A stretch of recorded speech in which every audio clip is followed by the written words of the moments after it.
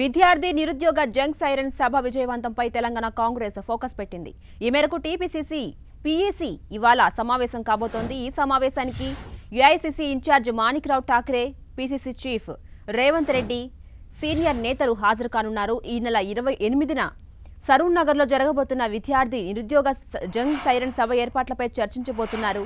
ఈ సభకు ఏఐసీసీ అగ్రనేత ప్రియాంక గాంధీ ముఖ్య అతిథిగా హాజరు కాబోతున్నారు. కాంగ్రెస్ అధికారంలోకి వస్తే విద్యార్థులు నిరుద్యోగులకు ఏం చేస్తామో ఈ సభలో ప్రకటించబోతున్నారు. సభను విజయవంతం చేసేందుకు పీఈసీ సమీక్ష సమావేశం నిర్వహించనుంది.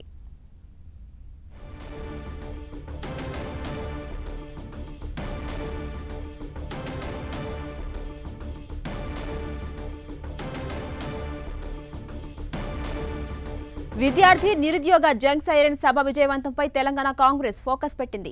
ఈ మేరకు టీపీసీసీ పీఈసీ ఇవాళ సమావేశం కానుంది. ఈ సమావేశానికి AICC in charge Manikrao Thakre PCC chief Revanth Reddy senior నేతలు హాజరు కానున్నారు. ఈ నెల ఎనిమిదిన సరూర్ నగర్లో జరగబోతున్న విద్యార్థి నిరుద్యోగ జంగ్ సైరన్ సభ ఏర్పాట్లపై చర్చించనున్నారు.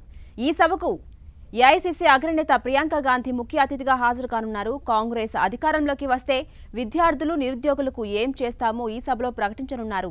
ఇక సభను విజయం చేసేందుకు పీఈసీ సమీక్ష సమావేశం నిర్వహించనుంది కాంగ్రెస్.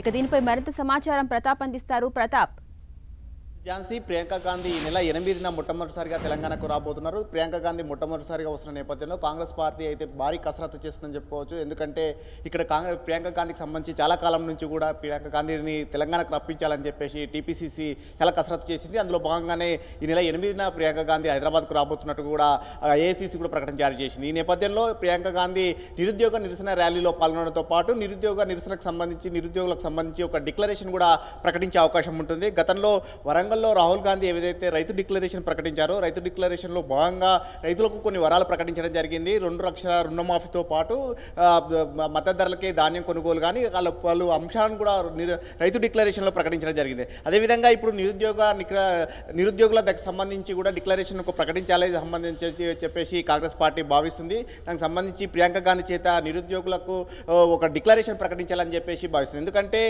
ఇప్పటికే తెలంగాణ రాష్ట్రం ఏర్పాటు అనేది నీళ్ళు నిధులు నియామక నియామకాలు అనే ట్యాగ్ లైన్తో ఏర్పడింది కాబట్టి నియామకాలు అనేది గత తొమ్మిదేళ్ళుగా తెలంగాణలో నియామకాలు కేవలం కేసీఆర్ కుటుంబానికి అవుతున్నాయని చెప్పేసి కాంగ్రెస్ పార్టీ చాలా కాలంగా ఆరోపిస్తుంది. నిరుద్యోగులకు ఉద్యోగ అవకాశాలు కల్పించట్లేదని కూడా దీనికి సంబంధించి కూడా ఒక ఉద్యమ కార్యాచరణను కూడా ప్రకటించడం జరిగింది. ముఖ్యంగా ఇటీవల కాలంలో టీఎస్పీఎస్సీకి సంబంధించిన పేపర్ లీకేజ్ అంశాన్ని కూడా కాంగ్రెస్ పార్టీ చాలా సీరియస్గా తీసుకొని ఒకవైపు కోర్టులలో కేసులు వేస్తూ మరోవైపు కూడా రోడ్లపైన కూడా ఉద్యమాలు చేసిన పరిస్థితి ఉంది.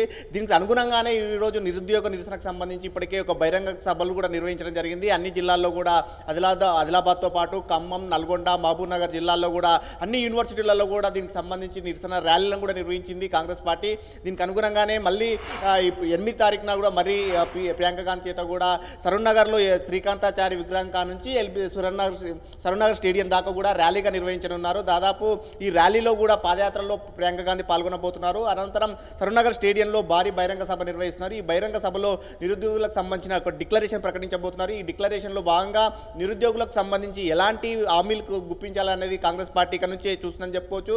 ముఖ్యంగా ఈ ఏడాది చివరిలోనే ఎన్నికలు ఉన్న నేపథ్యంలో వారిని ఆకట్టుకునేందుకు ఒక ఇది ఒక మేనిఫెస్టోలో కూడా చేర్చే అవకాశం ఉందని కూడా కాంగ్రెస్ పార్టీ చెప్తున్నది. ముఖ్యంగా ఇప్పటికే రైతులకు సంబంధించిన కొన్ని వరాలు ప్రకటించడం జరిగింది. రుణమాఫీతో పాటు మద్దతు ధరల అంశాలను అన్నింటిని కూడా ఒక డిక్లరేషన్లో ప్రకటించారు. ఇప్పుడు నిరుద్యోగులకు సంబంధించి కూడా వస్తే కనుక ఏ విధంగా ఉద్యోగ క్యాలెండర్ల నియామకాన్ని కానీ అదేవిధంగా నిరుద్యోగులకు సంబంధించి వృత్తి నిరుద్యోగ వృత్తిని కానీ ఇచ్చే విధానికి సంబంధించి కూడా ప్రకటన చేసే అవకాశాలు ఉన్నాయని కూడా కాంగ్రెస్ పార్టీ చెప్తుంది. ముఖ్యంగా ఇప్పటికే కర్ణాటక. ఎన్నికల్లో కూడా దీనికి సంబంధించి నిరుద్యోగ నిరసన నిరుద్యోగులకు భృతి అనేది ప్రకటించడం జరిగింది. దాదాపు రెండు వేల నుంచి మూడు వేల వరకు కూడా నిరుద్యోగ భృతి ప్రకటిస్తామని కూడా కర్ణాటక ఎన్నికల మేనిఫెస్టోలో ప్రకటించారు. అలాంటి ప్రకటనలే మళ్ళీ తెలంగాణలో కూడా ఉండే అవకాశం ఉందని చెప్తున్నారు. ఇప్పటికే టీఆర్ఎస్ గత ఎన్నికల సందర్భంగా నిరుద్యోగ భృతి ఇస్తామా హామీ ఇచ్చి ఇప్పటి వరకు నిరుద్యోగ భృతి ఇవ్వలేదు కాబట్టి దీనికి సంబంధించి కూడా జనంలోకి తీసుకెళ్ళాలని భావిస్తున్నారు. మొత్తం మీద ఒక డిక్లరేషన్ ద్వారా యువతను అందరినీ ఆకట్టుకునేందుకు కాంగ్రెస్ పార్టీ ప్రయత్నం చేస్తుందని చెప్పుకోవచ్చు. ఈ నిరుద్యోగ డిక్లరేషన్ ప్రకటించడంతో పాటు నిరుద్యోగ ప్రియాంక గాంధీ సభను విజయవంతం చేసేందుకు కూడా కాంగ్రెస్ పార్టీ ఈ రోజు మీటింగ్స్ పెట్టుకుంటుందని చెప్పుకోవచ్చు. ముఖ్యంగా రాష్ట్ర వ్యవహారాల ఇన్ఛార్జ్. మాణిక్రావు ఠాక్రే కూడా ఈ సమావేశానికి వస్తున్నారు. పీసీసీ అధ్యక్షుడితో పాటు ముఖ్యమైన నేతలంతా కూడా పీసీ సమావేశం జరుగుతుంది. అదేవిధంగా ఎన్ఎస్యుఐ యూత్ కాంగ్రెస్ నేతలతో కూడా సమావేశం నిర్వహించబోతున్నారు. Thank you Pratap